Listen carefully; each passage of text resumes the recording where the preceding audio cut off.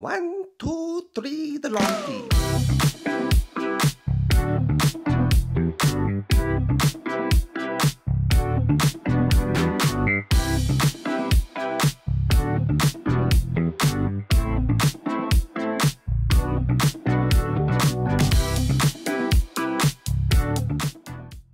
Welcome, everybody, to another episode of the Lawn Feed Podcast. Collectively, the Lawn Feed is three dads with a strong passion for lawn care, and we deliver deliver everything lawn care related to you in a super simplified way that makes it just super easy to listen to uh, in a space where all experience levels are welcome, egos are left at the door, successes are celebrated, and there are no failures. There's only learning moments with a W. Uh, I'm Vince Rudelonco. I'm your host tonight, and with me is Ope. It's Mo Time, Mr. Chris, What's up? and the Dad Bod Lawn, Andrew. Mr. Andrew, hello. Mr. Andrew, Mr. Chris, how are we tonight, fellas? I like that. I think we should go by that from now on, Mr. Andrew, Mr. Chris. Like, be super formal about things. One of my kids' friends calls me Mr. Chris. Well, that's what they do at school, right? Like everybody's, they go by the teacher's first names, and it's Miss Lisa or Miss Karen or whatever, right? And it's it's never just Mrs. I think last I would name. actually, I, I think I would actually like respond if you'd called me that in public because of that. Okay, that's official. That's all I'm calling you now. Deal. All right, there we have it, Mr. Chris, Mr. Andrew. I'm Vince. All right, Mr. Vince, thanks for that intro. That was wonderful. No, he's just Vince. Just Vince. Okay. Just Vince. Just Vince. well, anyways, uh, huge thank you to our sponsor, uh, Twin Cities Seed, for powering this season of the Lawn Feed podcast. They are built on their reputation of superior service, accuracy, and sustainability with custom blending and packaging, high performing products, and a team of dedicated experts. Twin Cities Seed is North America's leader in giving DIYers the highest quality of premium and elite grass seed for your next project. Save money on your grass seed by using code LawnFeed10. And on top of that, receive free shipping by pairing it with promo code FreeShip24. Twin City Seed proudly serves all of North America. Check them out at twincityseed.com and also twincityseed.ca. And boys, it's almost seeding season if you choose to do the, the spring dance with the seed. It's Mm. almost that time. dance. Yeah. Spring dance. Yeah, it is. We're close. which My is weird 'cause it's thingamajig not- says 12 days till spring. Isn't that weird? It's not even not, March Madness hasn't even started officially yet, and like we're talking about like the go time of lawn care this season. It's pretty bizarre. It's Yeah. weird. It's weird too because Easter's in March, which is Yeah, Like- right. that just doesn't happen. It's like they So- knew everything was going to be early this year. Everything is early. Speaking of early, Chris, how about some uh, dad's wins and losses? You got anything good? Speaking of early, I don't know what that means, but sure, He let's tied hit together. that thing and fire it right off. A lawn feed tradition where we tap into who we are at heart. Dad! This is Dad's Wins and Losses, where we tap into our inner dad bod father figures and highlight some of the recent wins we've experienced as parents, and of course, vent about the embarrassing losses we take each and every day as dads. That was actually Chris. He he that was him speaking. The Yeah, baby voice, Chris. Yeah. Baby Chris. helium. Uh, yeah, I've got some stuff, which is, and it's kind of, it's all kind of wrapped into one. Um, it's just like one big win and loss, all kind of put together. Um, so as you two know, uh, I'm a huge hockey fan, living in Minnesota. Uh, have had tickets to go for hockey for a long time. My dad started taking me when I was a little kid and passed that tradition along to my kids. So that's like our thing that we go and do on like a Friday and Saturday night for like a home series. And we've been doing that since basically pre-COVID, which is awesome. Um, but my oldest is seven, and he is a confident little little guy. And the greatest tradition in all of sports happens on Friday and Saturday nights in Mariucci Arena in Minneapolis, Minnesota, where right before the game, to be exact, 23 minutes and 30 seconds, the band goes around the concourse and does what they call the Minnesota March, performed by the Minnesota Marching Band. And that is like a thing. And the game started off with our kids loving uh, the games because of the mascot Goldy. They love to go and just go to the hockey games, They don't care about hockey. They don't care about what happens on the rink. They just want to go see Goldy, right? Goldy is the man. Uh, and now that's shifted to the marching band. So now everything revolves around the marching band. And what do marching bands do? They play instruments and they march around the concourse. So right before the game starts, they go and do this thing. And uh, long story short, my loss is that I lost my kid because he he wanted to go to the end of the band, which is where all the tubas are. Right, the tubas are kind of the caboose of this marching thing, and I was under the impression that he was just going to go follow the band to where we just were which was in the front of the band where they started. So he was just going to march down the whole like kind of backside of the concourse. Um, they march really quickly, and I don't think that he even realized this before he was going around with the entire band around the entire concourse of the entire hockey arena, doing the Minnesota March with the Minnesota marching band. so here I am, like the the place is a sellout. It's packed. So here I am just trying to like dodge through like elderly people just trying to catch up to these tubas because I can see the tubas. They're obviously tall. I'm tall. Uh, and I can kind of see his head. But then it gets to the point where like they're around the corner. Like they're on the opposite side of the arena almost. And I'm like, this is how this is gonna go. Like, I'm gonna be the guy that gets called to like guest services because they lost like their kid. Well, the loss quickly turned into the win because I get down because they they stop at where they started once they make their full way around the the concourse, and they do the they do our like fight song. It's the Minnesota Rouser, and all of a sudden I just see my kid go straight basically to our seats, and we follow him, and I was like, dude, you can't do like did you have fun? Like, because he doesn't know. He doesn't. He didn't even know he did anything wrong. Right. But I was like, I had no clue where you were. You were halfway across the concourse, like ahead of me, uh, and I, I I didn't know where you were. You're seven years old. Anything could have happened to you. And he's like, but Dad, our seats, section section ten, row blank, seat blank that's where I go when we get lost. And if I need to, and if I need someone, I'll go talk to someone in the maroon top with the with the khakis on that has the Minnesota M on it. Like I got it. We're good. And I was like, oh Jesus. All right. So So you got all that that I taught you. God, so I'm doing something right. Yeah. Uh, but for a while I lost my kid for like, I don't know, a minute and a half, two minutes around the whole thing. Seems like forever though. It it seemed like 25 minutes. hmm And like I'm sure we've all kind of been there at some point where it's like, where did they go? What corner did they turn and I didn't see? But man, And there was That, like uh, four old people that were on the ground because Chris knocked them over. yeah. So Right. if um yeah, to the elderly couple that I accidentally elbowed, I'm if you're listening to the Lawn Feed podcast, my sincere apologies. I will buy you a soda on the next go for hockey game. Um, kidding, of course, but man, You know, it's better than I think you shared a story one time about losing one of your kids at a concert. I think it was last summer. Chris You know, seems to uh, be a So I, I think maybe we need to have an intervention here here. real quick. Yeah. We put that into Yeah. the schedule here or no? Yeah. Well, the losses quickly turn into wins when we find them. But that's really cool that your son like knew all that. He's like, Dad, it's okay. Just chill. Enjoy the game. Go have a soda yourself. Luckily, you know, I guess that is the case. We've been like we he probably knows that place like the back of his hand, like we do. We just didn't know that, Right. you know. But So what's the first thing you say if they call you somewhere to come get your kid? Do You go up there and you go, Oh, something like that. oh, oh, my bad. Oh, sorry. oh, happened again. My bad. Yeah, well, speaking of wins, we did a lot of uh, talk about grass seed and a lot of winning grass seed blends uh, over at Twin City Seed.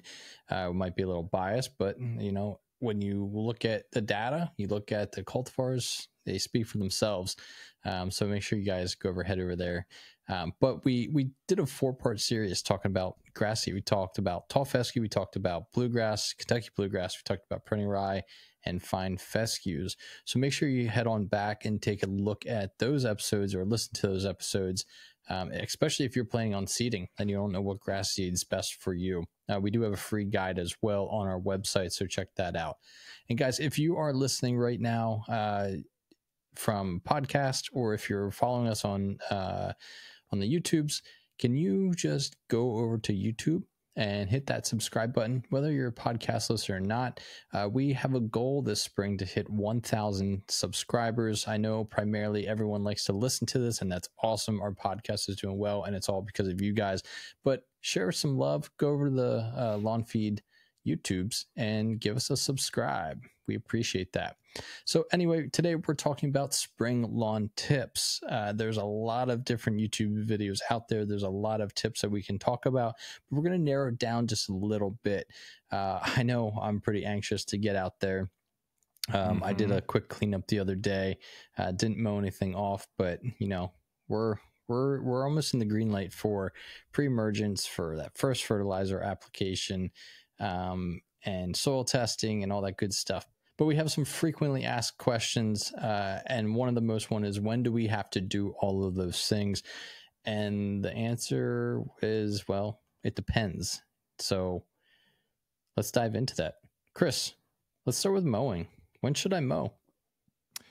Mowing. It's mow time, or at least it's almost mow time. Am I the only one that took the uh, the the tractor around the block when I didn't even need to? It was like 45 degrees. I've been thinking about it, but no, I got too much stuff piled up on the mower and in front of it. So I have 10 out of 10 recommend. Your neighbors look at you like you're crazy, but they know. Like 10 times crazier than they already think you are. Um, but yeah, it's coming. It's the golden question, right? So when when to start mowing, when to kick your season off. Um, and it's it's ultimately when when the grass decides it's time to wake up. Uh, it depends on soil temperatures. It depends on your local environment. It's not going to be this set date, obviously, of hey, we're going to start mowing on April fifteenth for everybody, right? It's it's largely going to depend on your your local area. Um, usually, your lawn will start growing when soil temps uh, get into that fifty degree mark. Soil temperatures, not air temperatures.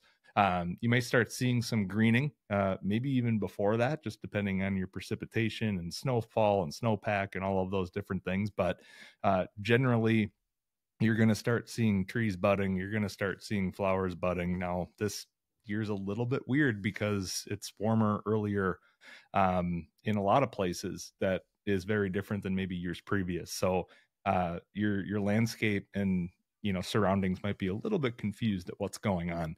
Um, but ultimately, right when your soil temperatures reach that 50s uh, consistently is is the key word there. Um, once uh, this once a point of this happens, uh, you can get your mower out. Uh, you can do a nice cleanup, like Vince was just talking about. Uh, kind of do a charity mow, uh, but get out there and you don't. Th- we're going to stress this a lot. Don't take a lot off. This isn't something where for a cool season grass you need to go like scalp it right away to quote unquote wake it up. This is something where you can just literally take the tip off, just the tip, um, and that will do a lot of good in the long term. Right? Usually does. Yeah, just the tip. It's usually a good thing. Uh, the biggest thing that I think that we always remind folks of is watch out for overnight uh, low temperatures. Um, there's a lot of these days where they will dip down. You will get frost. You will get all of those. Um, but if you get if you if you're still getting consecutive days where there's freezing temperatures, you might want to hold off just a little bit longer, just so you don't damage any leaf blades by cutting in um, and maybe doing any like un- unnecessary frost damage and and things like that. And obviously, we've talked about this in previous episodes. If there is still frost, do not go and step on your grass. Do not go and mow your grass. Um, so, end of the story there. Uh, when soil temperatures are above 50, uh, you're in the window and out of the window of consecutive freezing temps, that's when you can probably start mowing and mowing consistently. Uh, mow time. mow time, mm. right? So I think we're all uh, ready. One of one of the questions that I've actually been asked a lot is about pre-emergence. Um, mm-hmm. When to yeah. when to apply those and what's going on there? You know, I've been seeing a lot of stuff about pre-emergence this year. Um, especially in the northern regions, um, like on Facebook groups and stuff like that, because of the weird wonky temperatures we've been getting. Mm-hmm. Um, it, it's okay if you're new here. Pre-emergence can be, you know, one of those things that might seem a little bit intimidating, uh, but they are literally exactly what they sound like. Pre-emergence prevent weeds from growing in your lawn, and to be specific, they're an herbicide that help prevent the rooting and shooting of the plant, which then leads to the plant's ultimate death.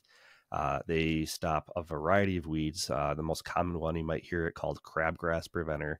So crabgrass, henbit, poa annua, bittercress, uh, chickweed, and there's a ton more. You know, all depends on your area, what you're trying to prevent. Um, and there's three most common ingredients that are in these different uh, pre-emergents that you can get: uh, prodiamine or barricade, as some people call it, pendimethalin, and dithiopyr. Uh, some research has suggested that they recommend that you kind of rotate these every two to three years just to help pre- prevent any kind of resistance uh, that your lawn could build up. Kind of like, uh, you know, they want you to get different antibiotics at the doctor because you can get build up a immunity to it. Same kind of thing can actually happen here. Um, these products can come in a few different ways. There's granular products, which are very popular for the common DIYer. Um, there's WDG, which is wettable dispersible granular, and these actually melt in water, and then you spray them with the backpack sprayer.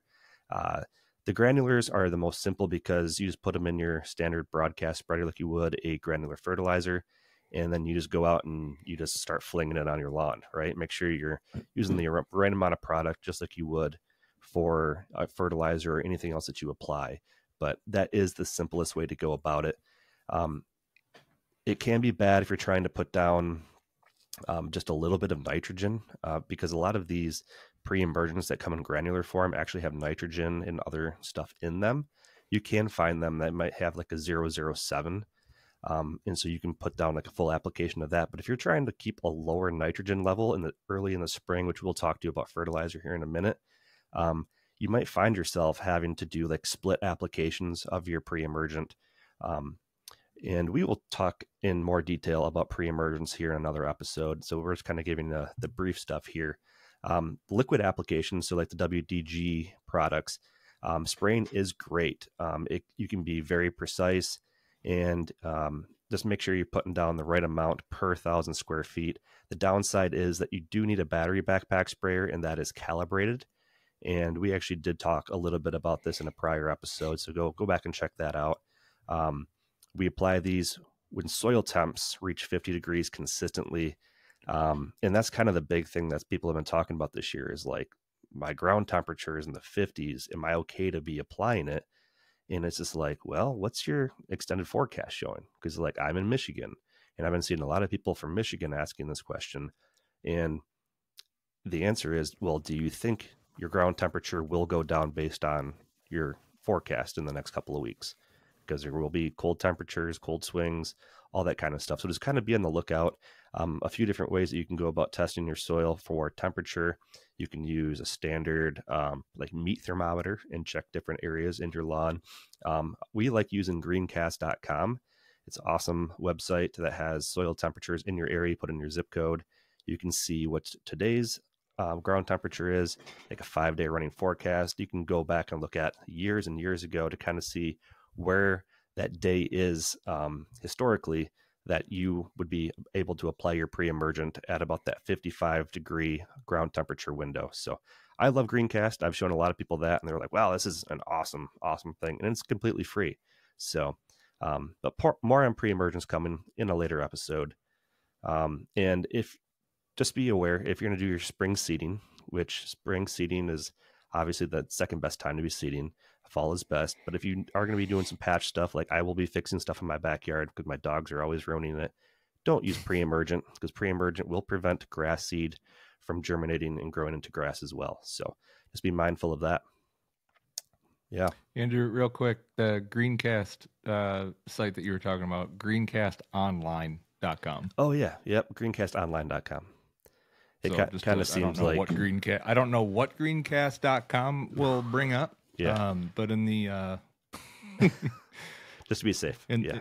In the weird weird world, Greencast Online. Yeah. Thanks for catching that. I appreciate that. Yeah.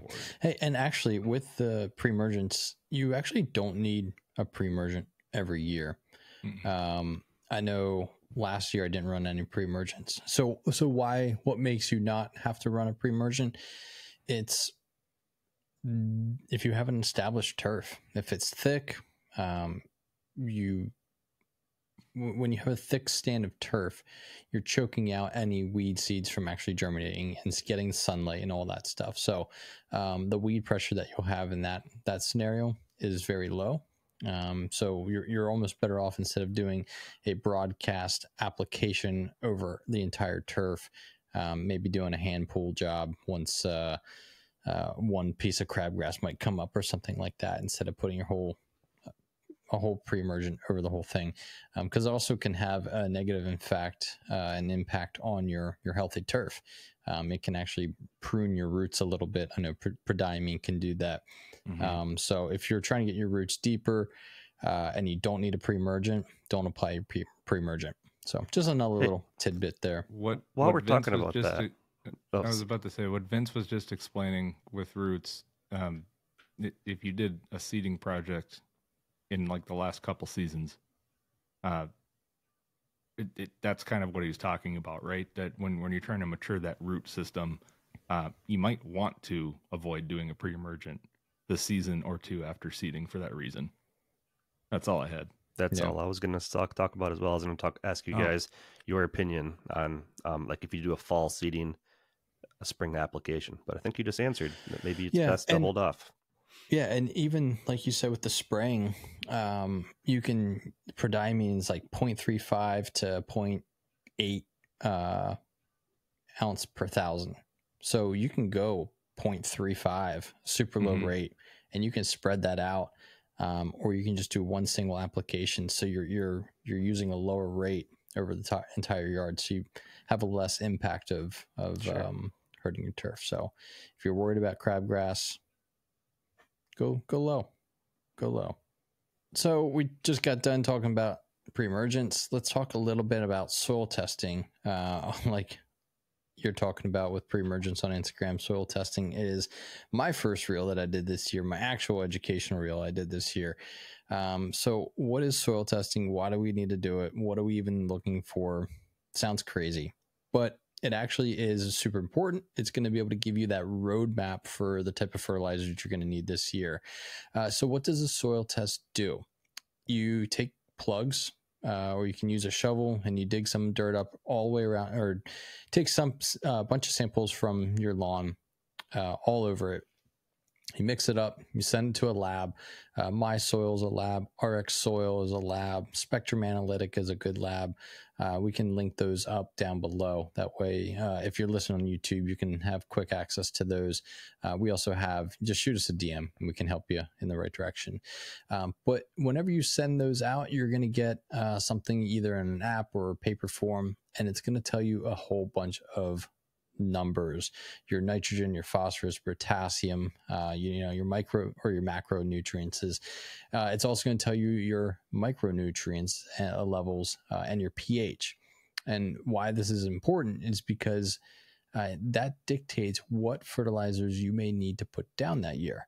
Um, if you're uh, potassium super low, then you know that you need to start including some fertilizers with potassium. Uh, if your pH is low or your pH is high, then you will either use some lime or sulfur to correct that. Uh, and having um, a pH that's within the normal limits is going to be essential because that is what helps drive that uh, the plant to actually be able to uptake the nutrients uh, and make your lawn healthy and green all year round. So, uh, should you collect for a soil sample? Yeah, I think you should, especially if you're just starting out. Uh, go out, see what your soil is telling you uh, that it needs, and follow those steps. Uh, I did have one question the other day. They got a soil test. Their potassium was super low, I believe it was super low, and he wanted to put down tons of potassium down. These results don't mean that you need to fix it overnight. You're not going to change your soil uh, composition overnight. This is a multi year step, um, multi year process. So, yeah, you're adding a little bit extra of, uh, let's just say, potassium this year or sulfur this year. Uh, maybe next year, grab another soil test and just make sure you're trending upwards or or uh, changing the pH the right direction that you want to.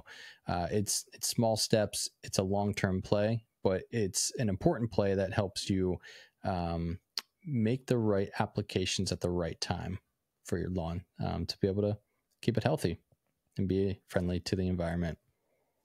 Yeah, seriously. So I I always say to people it's it's like trying to go on a road trip without, you know, either directions or you blindfold yourself. Like the chances that you get from point A to point B uh by just guessing how to get there are damn near impossible, right? Yeah. And that's unfortunately what a lot of homeowners do without even realizing that they're doing something wrong. Like they a lot of the, a lot of people don't know that this thing even exists and it gives all of the answers to the test and I, people are like yeah it's easy but it's honestly like if you want a nice lawn just go test your soil and just like apply exactly what it's asking to be fed Yep. uh, and in two to three years you're gonna have the nicest lawn on the block and you're gonna be super happy with the progress you've made especially if you've been doing like a four step program and you're looking to take it one step farther. Yeah. Like that's the best way to like literally take it to the next level.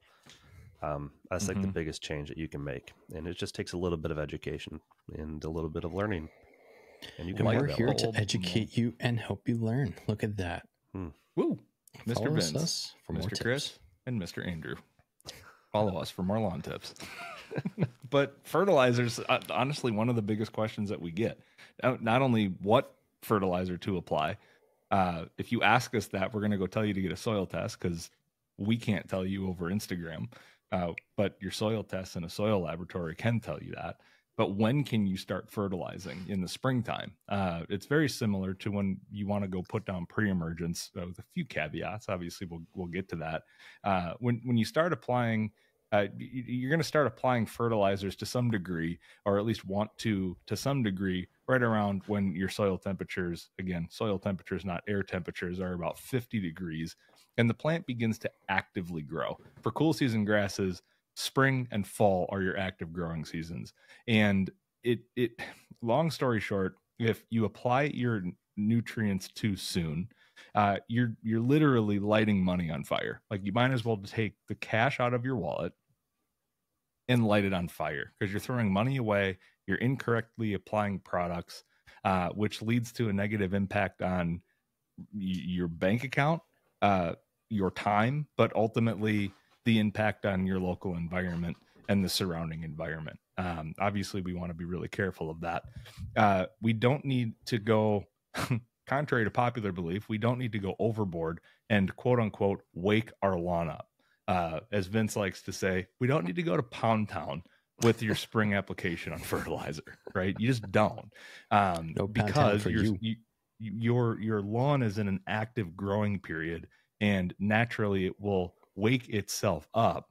Um, that doesn't mean that it doesn't need food, right? When we wake up in the morning and our bodies naturally wake up, that doesn't mean that we don't need to like not eat throughout the day. We still need to eat, but we still don't necessarily need to eat everything in our pantry right away, right when we wake up. Okay. So we we don't necessarily need to go pour a whole bunch of fertilizer down our lawn's throats. Too much nitrogen will cause a major flush in growth, uh, which means more mowing, more work for you, um, but more excessive growth for the plant that just isn't necessarily needed. You'll get disease pressure, negatively impact the plant, um, so on and so forth. Uh, generally speaking, we always kind of recommend, and this again always goes back to your soil test and what it tells you that you need. Uh, but in the springtime, I, I, don't know about you guys. I try to not ever go over a pound of nitrogen uh, right away in the spring. Not even close to it. I, I like to just kind of spoon feed that and let our lawn kind of wake up on its own. Um, you might want to consider something like a half a pound of nitrogen, uh, maybe even less than that uh, per application. Um, Especially with granular. You don't want to be doing liquid Right. fertilizer over 0.5 pounds of N per K. With because that just leads you to potential harm of tip burn and and whatnot. So the one pound per- of nitrogen he was talking about was more of the uh, granular. Cor- correct. Yeah, correct. And when when you're looking at and when Vince said per K, that's per 1,000 square feet area of your section. Um, so measuring your lawn, obviously, and and kind of going into that, but we'll we'll get into that part a little bit more into a a, a deeper level. Um, so you have your your your fertilizer kind of game plan in terms of like, hey, this is the fertilizer that we can apply. uh, now when to start doing it. That kind of gives you some much needed direction. Um, another another nice thing, is, at least in the spring, uh, that I like to do is apply some liquids. Um, more more so in like the the spoon feeding, you know, kind of way.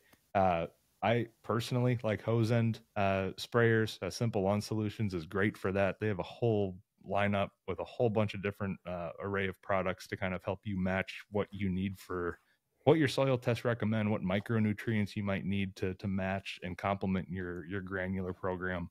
Um, but you can adjust uh, how you how much NPK kind of you're putting down uh, fairly easily with those, or a little bit easy, more easily and more accurately uh, than per se a granular. Um, if you don't have a backpack sprayer, obviously those ho- hose end sprayers are a great option um, that give you great results. So definitely be sure to check those out. But ultimately, when when to start applying it, when your grass wakes up, when soil temperatures are consistently over that 50 degree mark, uh, just don't go overboard. Yeah, that's good stuff. good stuff. So those are some spring tips. We hope that uh, they answer some of the more frequently asked questions that you may be having right now. Uh, so, what do you do if your soil temps are not ready? It's not go time. It's not pound town. Uh, go sharpen your mower blades. Calibrate your sprayers. Go get a backpack spray and calibrate it a while. Stock up on your fertilizer. Uh, go stretch, take the mower around the block. Yeah, stretch those you hammies. Go. You gotta stretch your hammies spring lawn season is starting soon. Um, and thanks again at our friends at Twin City Seed uh, for today's episode. Check them out for all your turf grass needs. And remember to use code LawnFeed10 for 10% off of your amazing order that you will love so much. Uh, elevate your lawn apparel by grabbing a new Mow Time or Big Grass Guy t shirt at thelawnfeed.com uh, and use code BRAD 15 for 15% off your entire order at checkout. On behalf of the entire Lawn Feed crew, Mr. Andrew, Mr. Chris, and Mr. Vince, thank you for joining us and stay safe out there. Have a great week. Have a good weekend. Enjoy parenthood. Celebrate the wins. And we'll catch you next time. See you. Bye bye. See ya.